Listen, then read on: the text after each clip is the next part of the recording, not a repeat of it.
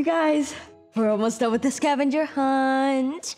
We're finally beating Blue Cabin this year. Blue Cabin always wins, and they're real sore winners about it. Look, we can take the Eureka Point Bridge as like a shortcut back to camp. Let's see what we have left. Do we have dandelions? Hmm? Did someone get fungi? Why is a mushroom always invited to the party? Why? He's a fun guy. Something man-made? I got it. Tell me you did not just take the lucky bolt that's holding Eureka Point Bridge together? It's okay, guys. I can just put it back.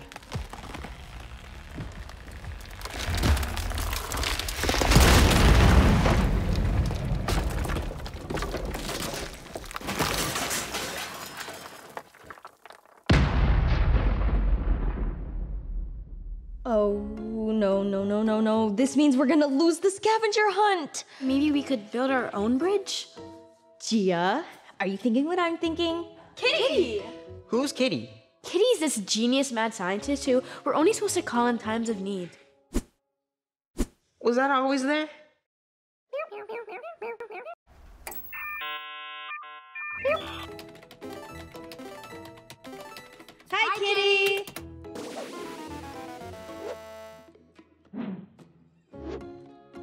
Kitty's a cat. And you're a human. Whoa! Looks like you need help building a new bridge. Oh, yeah, we do. Connecting you to my old college roommates. Hey team, my name's Dr. Davina Durgana. Hey, I'm Debbie Sterling. Hi, my name is Vanessa Hill.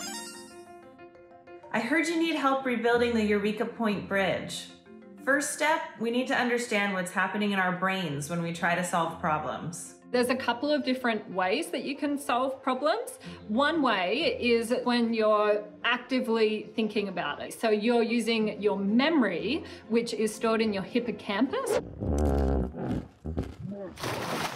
which is one region of your brain that's your memory center.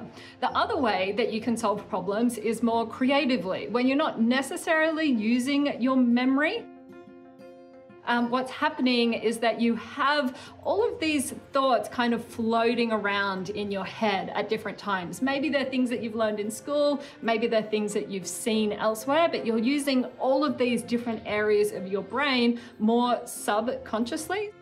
That sounds cool. It's like you're going for a walk or you're playing a game, and then all of a sudden you think, oh my God, I can think of that solution to a problem, and it just kind of pops into your head.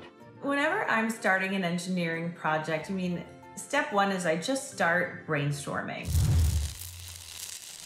If you're tackling something like building a bridge, uh, what I like to do is just close my eyes and picture bridges that you've seen before in real life. As I picture this bridge in my head, I can start to remember some of the shapes and the form of that bridge.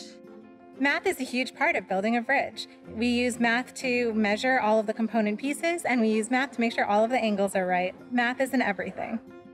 You know, you can just start by prototyping.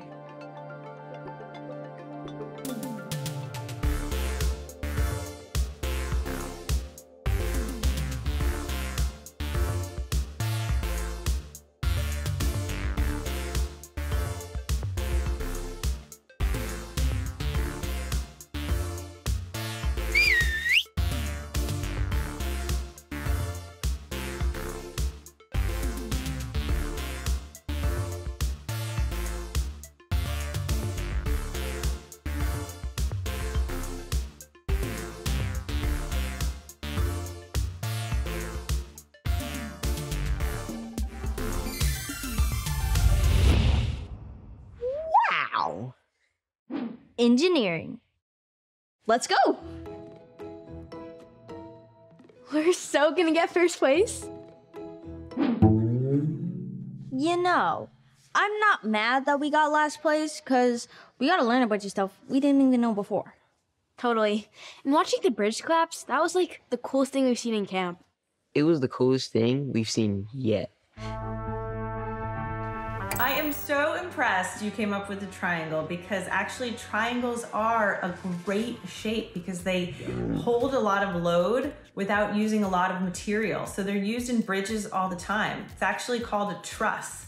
When you solve problems as a team, your solutions are often way better than if you tried to solve them yourself. When you think about it, everybody has gone to different schools, everyone has a different family, and a different culture, and people live in all different places. So when we all come together and solve problems, we're bringing all of these different things that we've learned from all of these different places. So there are so many more pieces that we can fit together to come to the best solution.